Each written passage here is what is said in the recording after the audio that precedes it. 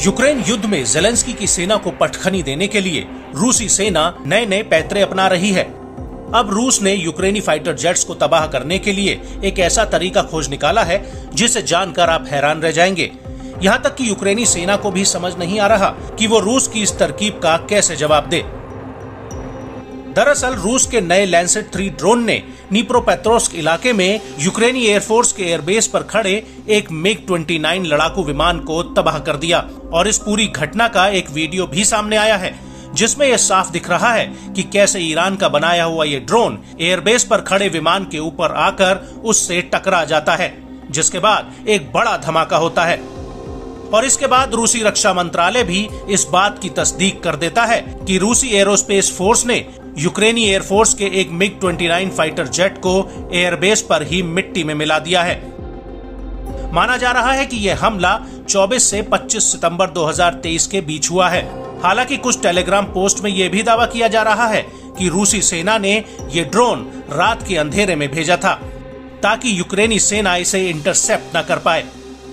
ठीक इसी तरह से रूस ने पहले भी डोल्गिनेसेवो एयरबेस पर खड़े यूक्रेन के दो फाइटर जेट्स को ड्रोन से नेस्तो नाबूद कर दिया था।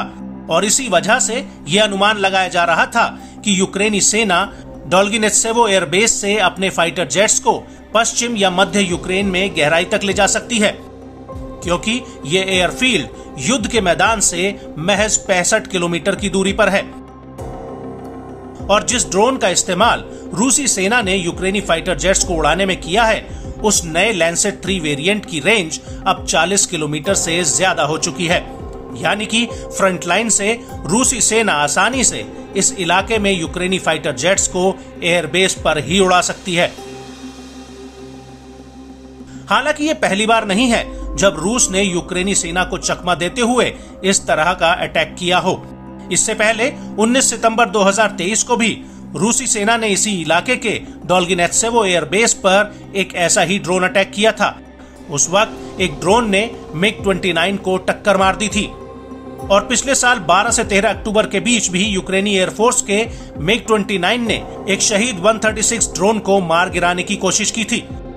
लेकिन ड्रोन में धमाके की वजह से विमान खुद नीचे आ गया था। लेकिन यूक्रेन का पायलट अपनी जान बचाने में कामयाब रहा था। हालाँकि यूक्रेनी सेना ने इस प्लेन क्रैश के पीछे एक अज्ञात तकनीकी खराबी का हवाला दिया था।